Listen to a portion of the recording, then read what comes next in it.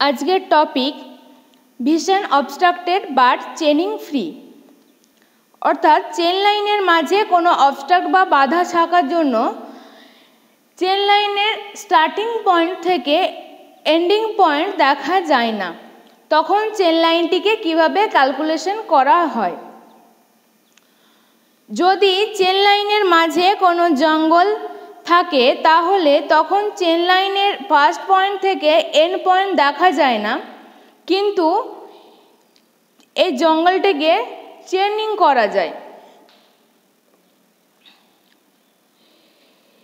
এই অবস্ট্রাক্টের দুটি কেসে হয়।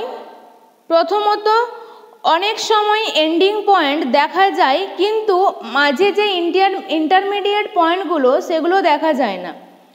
আবার অনেক সময় ইন্টারমিডিয়েট পয়েন্ট থেকেও এন্ডিং পয়েন্ট দেখা যায় না। এ বি, এখানে A B, actual chain line, যার মাঝে একটি জঙ্গল থাকার জন্য এই এ বি লাইনটিকে রেঞ্জিং করা যাচ্ছে না। সেই জন্য এ বি লাইনের ওপর একটি পয়েন্ট নিয়েছি, পি, এবং সেখান থেকে পি, টি, একটি র্যান্ডম লাইন নিয়েছি। এই র্যান্ডম লাইনের ওপর তিনটি পয়েন্ট নিয়েছি, যথাক্রমে সি ডি এবং ই আর এই র্যান্ডম লাইনটি যে কোনো অ্যাঙ্গেলে সুবিধা মতো নিতে হবে। এই তিনটে পয়েন্ট থেকে পারপেন্ডিকুলার লাইন ড্র করেছি এবং সেই লাইনটি মেন চেন লাইনের ওপর মিট করেছে। সেই পয়েন্টগুলো সি ওয়ান ডি ওয়ান এবং ই ওয়ান এই ডিস্টেন্সগুলো C C one D D one এবং ই ই ওয়ান এই ডিস্টেন্সগুলো প্রথমে ক্যালকুলেট করতে হবে। সি সি ওয়ান অতি ক্ষুদ্র, সেই জন্য এই সি সি ওয়ানকে চেন বা টেপের সাহায্যে সহজেই মেজার করা যায়। কিন্তু D D one E E one lengthy হওয়ায় এগুলো চেন বা টেপের সাহায্যে অ্যাকুরেট মেজারমেন্ট করা যায় না।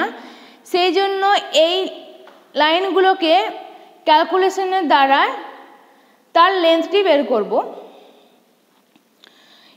এই র্যান্ডম লাইনের ওপর এই তিনটি পারপেন্ডিকুলার লাইন নেওয়ায় তিনটি ত্রিভুজের সৃষ্টি হয়েছে। সেই ত্রিভুজ তিনটি P C C one P D D one এবং পি ই ই ওয়ান একটি লাইনের ওপর তিনটি ত্রিভুজ থাকার জন্য এদের যে পারপেন্ডিকুলার যা বা লম্ব, এটি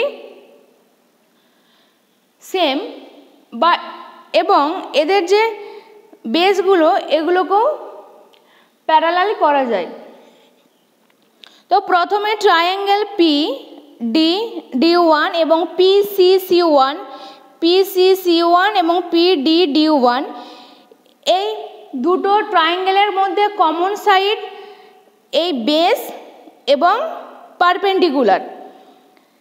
তো পি ডি ডি ওয়ানের যে বেস ডি ডি ওয়ান এবং পারপেন্ডিকুলার হচ্ছে পি ডি এবং পি সি সি ওয়ানের বেস সি সি ওয়ান এবং পারপেন্ডিকুলার পি সি যেহেতু আমরা সি সি ওয়ানকে মেজার করতে পেরেছি পি সিকে মেজার করতে পেরেছি পি ডিকে মেজার করতে পেরেছি হ্যাঁ D D two D D ওয়ানকে মেজার করতে পারিনি, সুতরাং আমাকে এখানে ডি ডি ওয়ানটি বের করতে হবে।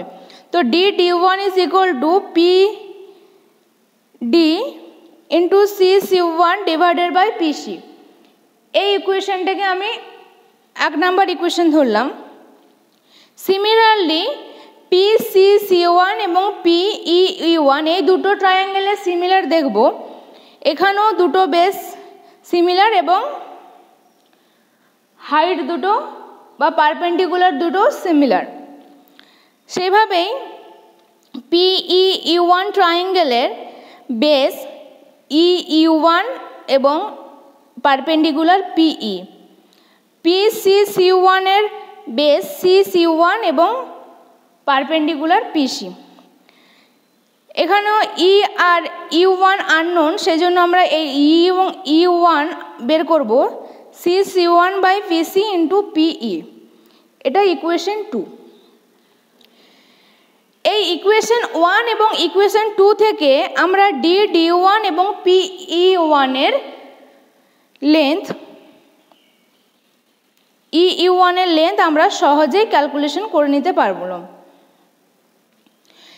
যেহেতু আগেই বলেছি যে এই র্যান্ডম লাইনের ওপর সি ডি এবং ই e, পি থেকে আমরা ডিস্টেন্স মেজার করতে পেরেছি। সি সি ওয়ানের ডিস্টেন্স মেজার করতে পেরেছি। ডি ডি ওয়ানের ডিস্টেন্স মেজার করতে পারলাম। ই ই ওয়ানের ডিস্টেন্স মেজার করতে পারলাম। তো এখানে চেন লাইনের পি এবং ই ওয়ানের ডিস্টেন্সটি টোটাল বের করলে আমাদের চেন লাইনের কিছুটা অংশ এবং অবস্ট্রাক্টের লেন্থটিও পেয়ে যাব।